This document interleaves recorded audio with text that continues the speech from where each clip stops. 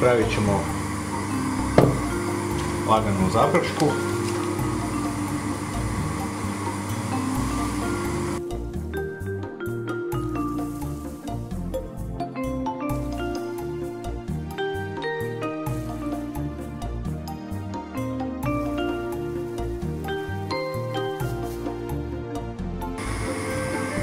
Brašno ne izgori, dodat ćemo malo koncentrata rajčice.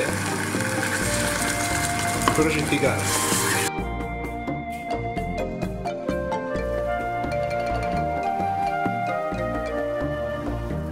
Odliti sokom od rajčice.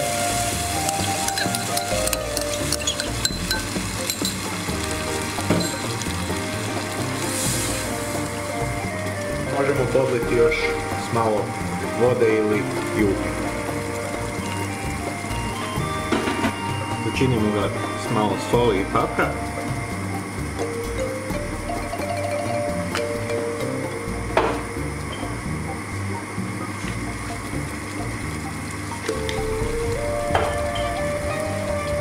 Probamo kakvog je okusa.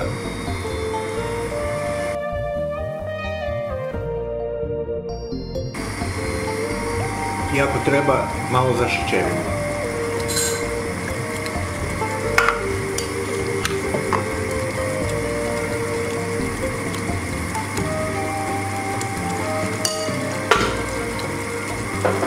kuhati dok ne reducira